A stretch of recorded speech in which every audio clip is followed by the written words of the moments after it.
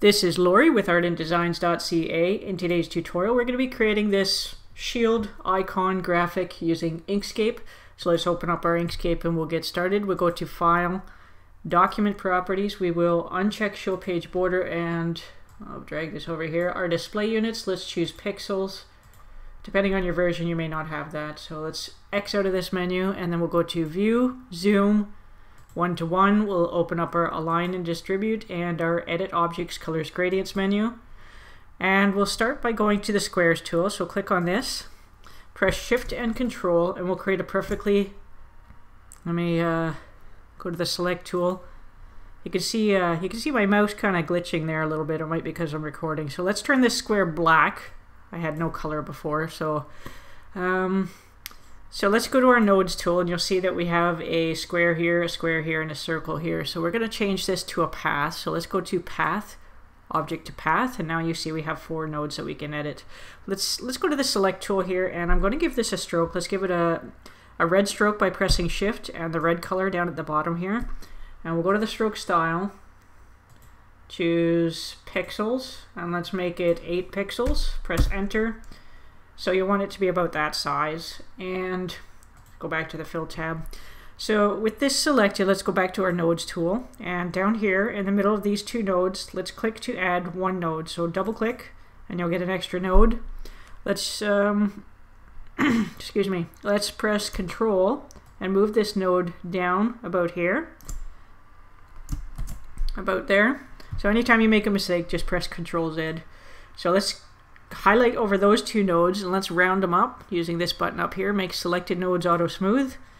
And that makes that kind of fat. So let's uh, let's move these two out and um, trying to remember my shortcut. I think it's the yeah, it's the um, beside your M key you'll have these uh, like arrow keys. Press those.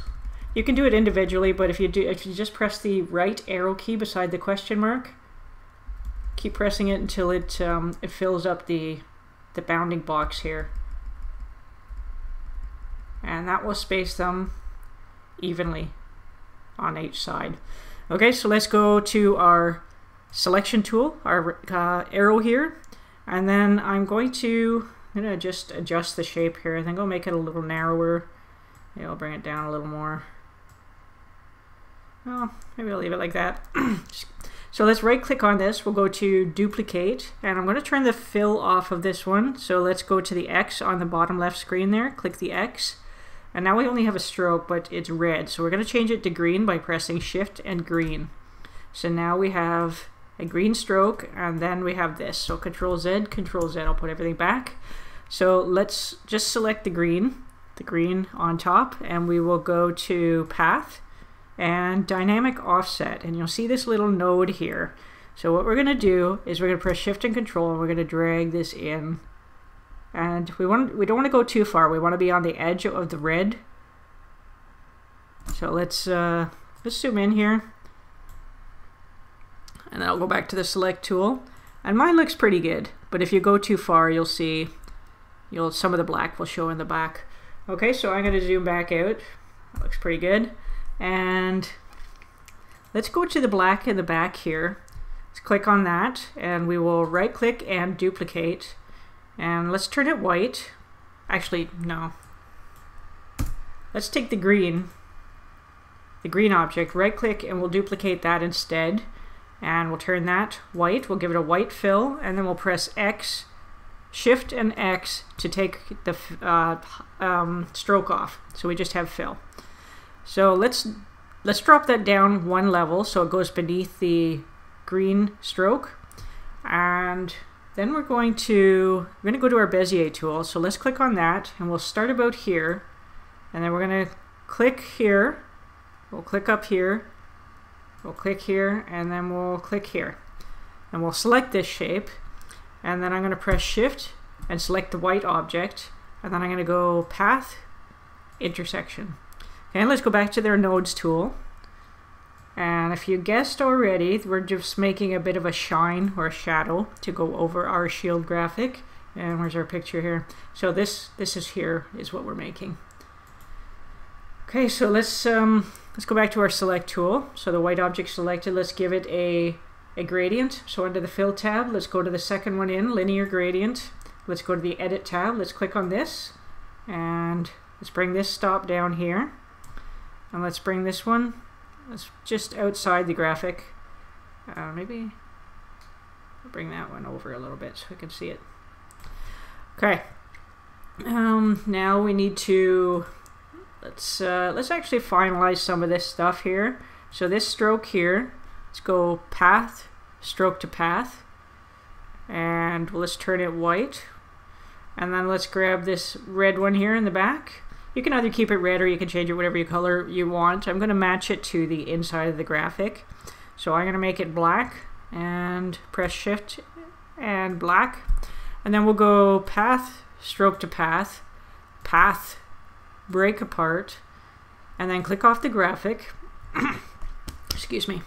Um, so now we want to, with all that finalized, we're going to draw a star. So let's go to our stars and polygons tool. Click on that. We'll come up here to uh, stars. Make sure you click that. Corners, choose 5. And if you want a more sharper star, you can choose 0.375. I'm just going to use 0.5. That'll give us a fatter star. Press Shift and Control, create your star. And let's, uh, what did I make this? Oh, I did make it red. Okay, so let's make the red it red with a white outline. So let's choose, let's actually, this is a stroke, so let's go path, stroke to path, and then path, and break apart. So now you see these two bounding boxes. Click off the graphic. Let's go to the select tool, select the inner one, and we'll choose red. Okay, and uh, the outside one, let's turn that white.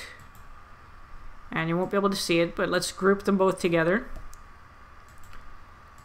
and now you can see it. Okay, so let's let's click on this again to get the rotation handles, and we're just going to rotate this so that the two points face downwards like that. And I'm going to click on it again to get the scaling handles, press shift and control. We'll scale that down to about there, that's pretty good. So let's, with this selected, press shift and select the black background. And then we're going to align that centered on the vertical axis, this middle one right here under your align tab. And that looks pretty good, but what we're going to do is we're going to drop it below the shine. So click down twice, one, two, and that should get us below the shine. Okay, so that is it. That is how you can create this icon in uh, Inkscape. If you like the tutorial, please like, subscribe, let me know how you did with your version, and as always, thank you for watching.